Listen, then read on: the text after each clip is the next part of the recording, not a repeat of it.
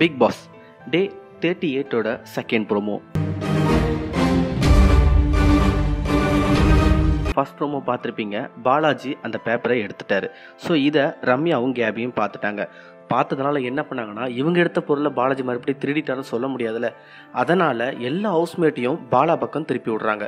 நாங்கள் பார்த்துட்டோம் இவர் தான் அதை வச்சிருக்காரு அப்படின்னு சொல்லிட்டு பிரிதி போட்டோன்னே பாலா என்ன சொல்கிறாருன்னா நான் எடுத்ததை நீங்கள் பார்த்தீங்க. அதுக்கு என்ன ஆனஸ்ட்டு இல்லைன்னு சொல்லாதீங்க. கேமில் தான் நான் விளாண்டேன் அண்ட் பார்த்தீங்கன்னா வந்து இதை ஃபஸ்ட்டு ஃபஸ்ட்டு எடுத்தது யாருன்னு எனக்கு தெரிஞ்சாகணும் அப்படின்னு சத்தம் போடுறாரு.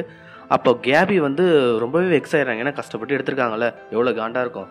கேபி அந்த கோவத்தெல்லாம் வந்து பாலாஜி மேலே காட்டுறாங்க. அப்போ பார்த்தீங்கன்னா வந்து நம்ம சிவானி வந்து எதுக்கு உனக்கு ஆனஸ்ட்டாக பதில் சொல்லணும் அப்படின்னு கேட்க வராங்க.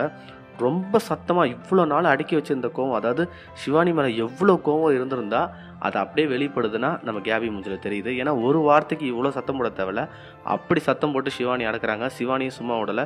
ஸோ குறுக்க பூந்து நம்ம பாலாஜி வந்து ரெண்டு பேரும் பிரித்து விடுற அளவுக்கு ஆயிடுச்சு. இந்த ப்ரோமோவிலே ஹைலைட் என்னென்னா ஃபைனல் டச் தான். ரியோ வந்து நான் ஒன்று சொல்லட்டுமா அப்படின்னு கேட்குறாரு எல்லாரும் என்னடா சொல்ல போகிறாரு அப்படி ஷாக்கிங்காக இருக்காங்க.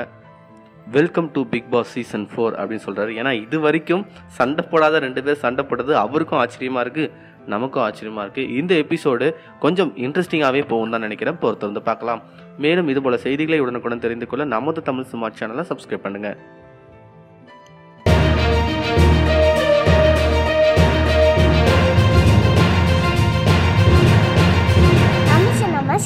பண்ணுங்க.